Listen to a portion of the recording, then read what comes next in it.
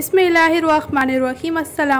Averse उम्मीद आप सब खैरियत से होंगे। अल्हम्दुलिल्लाह, मैं भी खैरियत से हूँ। तो आज हम यूट्यूब चैनल फजर किचन में बना रहे हैं पोटैटो वेजिटेबल स्नैक, जो कि बहुत ही मज़ेदार और बहुत ही ज़्यादा क्रिस्पी बनता है। तो अब चलें इस इजी स्नैक को बनाना स्टार्ट करते हैं। रेसिपी स्टार्ट करने से पहले छोटी सी रिक्वेस्ट लाल सब्सक्राइब बटन को क्लिक कीजिए, साथ दी गई बेल आइकन को प्रेस कीजिए, ताकि मेरी मज़ेदार रेसिपी का नोटिफिकेशन आप भी पा सकें।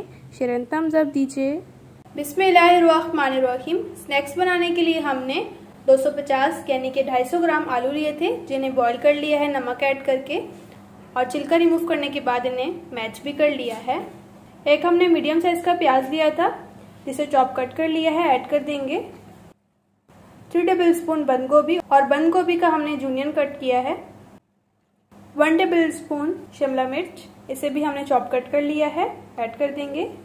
दो दो हरी मिर्च, इन्हें भी कट कर लिया है चॉप। बिस्मिल्लाहिर्रहमानिर्रहीम। अब इसमें ऐड करेंगे खुश मसाले जो कि यूँ हैं, one tablespoon chilli flakes, half tablespoon Kashmiri लाल मिर्च, हाफ़ टेबल स्पून हल्दी, half teaspoon black pepper, half tablespoon भुना पिसा गरम मसाला, वन टेबल स्पून नमक या फिर हसब जायका। बिस्मिल्लाहिर्रहमानिर्रहीम। तमाम चीज़ों को अच्छी तरह से मिक्स करेंगे। अब इन चीज़ों को हमने अच्छी तरह से मिक्स कर लिया है। अब इसमें ऐड करेंगे हरा धनिया और हरा पुदीना। हरा धनिया और हरा पुदीना अच्छी क्वांटिटी में ऐड करेंगे और मिक्स करेंगे। बिस्मिल्लाहिर्रहमानिर्रहीम। अब आलू के मिक्सचर को हमने अच्छी तरह से मिक्स कर लिया है। बिस्मिल्लाहिर्रहमानिर्रहीम। अब हमने ले लिया है आटा, जो नॉर्मल चपाती के लिए आप आटा यूज़ करते हैं। यहाँ पर मैं वही आटा यूज़ कर रही हूँ और आटे की मेज़रमेंट के लिए मैंने मेज़रमेंट कप यूज़ किया है और ये टू कप ऐड किए हैं। आटे के। आप किसी भी बाउल या फिर कप से मेज़रमेंट कर सकते हैं। और आटे को हमने चने की मदद से छान लिया था। अब इसमें ऐड कर देंगे हाफ़ टेबल स्पून ज्वाइन और हाफ़ टेबल स्पून कॉलवंजी हाफ़ टेबल स्पून नमक या फिर हसब जायका अब इसमें ऐड करेंगे थ्री टेबल स्पून घी। इसमें रखीम अब हैंड्स को अच्छी तरह से वॉश करने के बाद मिक्स करेंगे। अब हमने अच्छी तरह से मिक्स कर लिया है। इस तरह से जो है मुट्ठी में आटा बाइंड होना चाहिए। अगर नहीं हो रहा तो आप घी वन टेबल स्पून या टू टेबल स्पून ऐड कर सकते हैं। ये हमने ले लिया है वन कप पानी। अब ऐड करेंगे, साथ साथ ऐड करेंगे और साथ साथ मिक्स करेंगे। थोड़ा सा और पानी ऐड करेंगे। आटा जो है वो एक डो फॉर्म में हो जाएगा तो मैं आपको बता दूँगी कि कितना पानी यूज़ हुआ है। आटा जो है वो डो की फॉर्म में हो चुका है। आटा इस फॉर्म में होना चाहिए। वन कप से हाफ़ कप पानी बच चुका है। अब डो को ऊपर से कवर कर देंगे और 15 मिनट तक रेस्ट पर रख देंगे। लाई बनाने के लिए एक बाउल ले लिया है। इसमें ऐड करेंगे टू टेबल स्पून आटा और टू टेबल स्पून मैदा। Half teaspoon chilli flakes add कर देंगे और हाफ़ टी स्पून हल्दी। एक चुटकी नमक ऐड करेंगे। अब इसमें ऐड करेंगे पानी। Half cup. मिक्स करेंगे। बिस्मिल्लाहिर्रहमानिर्रहीम। तकरीबन थ्री टेबल स्पून लाई इस तरह से इतनी गाढ़ी होनी चाहिए।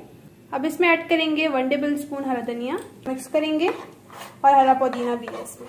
और माशाल्लाह आटे को रेस्ट पे रखे हुए 10 मिनट हो चुके हैं। अब आटे को हम निकाल लेंगे बाउल से। अब इस तरह से रोल करेंगे आटे को। अब दो बाट में आटे को कर लिया है हमने। अब इसका पेड़ा बना लेंगे।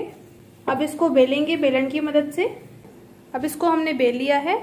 अब जो आलू का मिक्सचर हमने बनाया था उससे लगाएँगे इसके ऊपर अच्छी तरह से। और माशाल्लाह ये जो स्नैक मैं आपके साथ शेयर कर रही हूँ, ये बहुत ही कम इंग्रेडिएंट्स में और घर के इंग्रेडिएंट्स से बनता है। सभी इस स्नैक को आसानी से घर में बना सकते हैं। अब इसको रोल करेंगे इस तरह से। इस तरह से छुरी पर हमने ऑयल लगाया है। अब इसके पीसेस करेंगे इस तरह से, जो एक्स्ट्रा डो है इसे हटा देंगे। इस तरह से हम पीसेस करते जाएँगे। अब इस तरह से हमने कटिंग कर ली है। अब एक पीस उठाएँगे।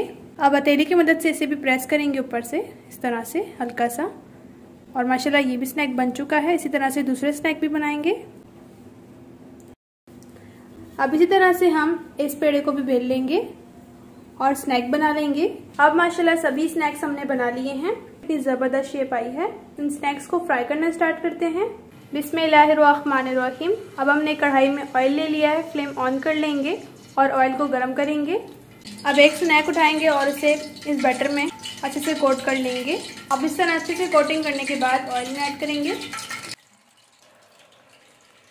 जितने आपकी कढ़ाई में आसानी से स्नैक्स ऐड हो सकते हैं, आप उतने ऐड कीजिएगा। अब माशाल्लाह ये एक साइड से फ्राई हो चुके हैं, इन्हें पलट लेंगे। बिस्मिल्लाहिर्रहमानिर्रहीम। अब दूसरी साइड से भी गोल्डन कलर आने तक फ्राई करेंगे।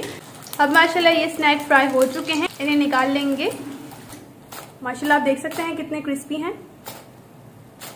अब इन्हें एक प्लेट में निकाल लेंगे। फील ही नहीं हो रहा कि आपने इन स्नैक्स को आटे से बनाया है। अब इसी तरह से हम दूसरे स्नैक्स भी ऐड करेंगे। अब माशाल्लाह ये भी स्नैक्स फ्राई हो चुके हैं। इन्हें भी निकाल लेंगे छन्नी की मदद से।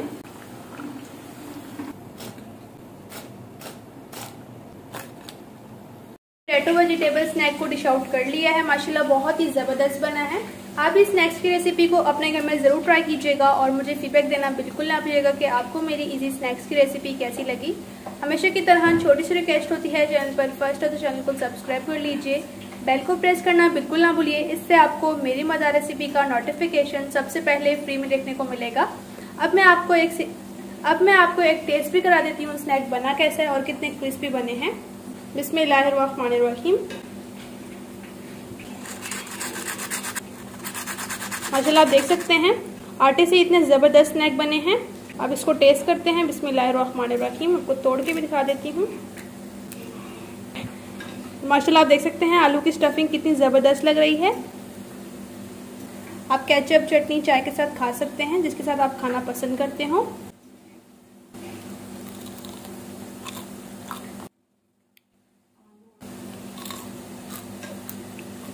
स्नैक कितने क्रिस्पी और इतने मज़ेदार बने हैं टेस्ट में। इनशाला नेक्स्ट रेसिपी के साथ फिर मिलेंगे। अपना और अपने प्यारों का रखें। बहुत ज़्यादा ख्याल। थैंक्स फॉर वॉचिंग अल्लाह हाफिज़।